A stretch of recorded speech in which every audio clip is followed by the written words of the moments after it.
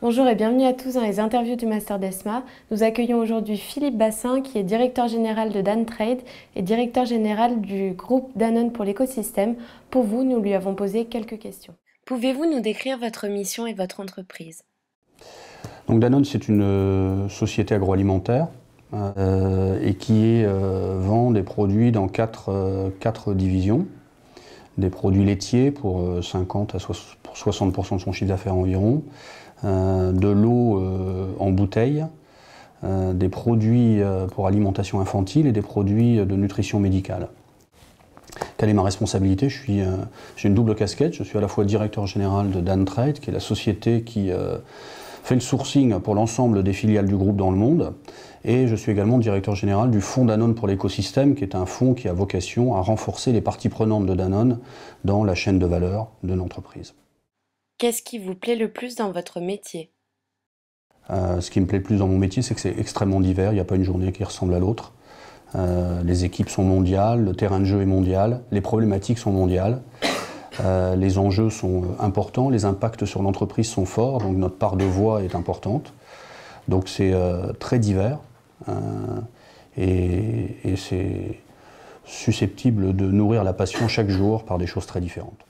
Pourquoi avez-vous choisi d'intervenir au sein du DESMA euh, Pour deux raisons. La première, c'est que j'aime bien intervenir dans les écoles et les universités. Euh, J'essaye toujours de garder un petit slot dans mes agendas pour le faire, et pas forcément les écoles ou les universités parisiennes.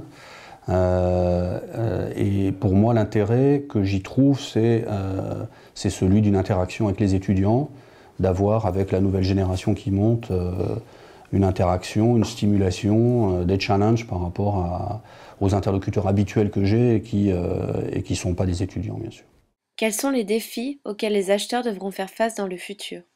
La fonction achat, pour moi, elle a, plusieurs défis. Évidemment, ils sont euh, toujours assez spécifiques à, l'industrie dans laquelle on travaille. Dans l'industrie de l'agroalimentaire, qui est le mien, j'ai des vraies problématiques à affronter dans le futur d'accès aux ressources clés.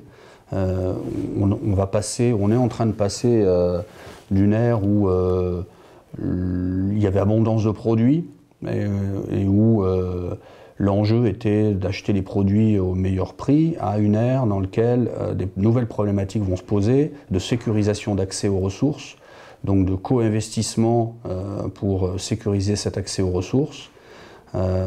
Donc de maîtriser l'accès à cette ressource va devenir un enjeu clé.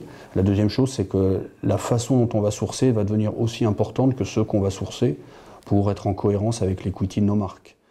Est-ce que vous auriez un conseil à donner à de futurs acheteurs? Euh, Ce que je pourrais donner comme conseil à de futurs acheteurs, c'est d'aimer le voyage, d'aimer voyager, euh, c'est euh, d'être curieux, d'être ouvert, de ne pas s'enfermer dans la technique de la fonction, mais plutôt de comprendre le business model de l'entreprise au sens large pour pouvoir être un vrai business partner.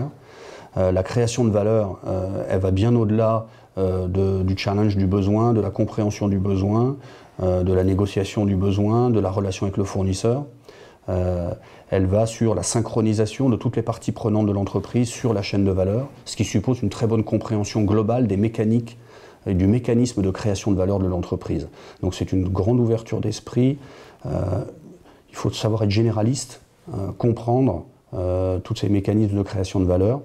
Donc d'avoir un vrai business mindset, d'être obsédé par la curiosité, l'ouverture et la création de valeur.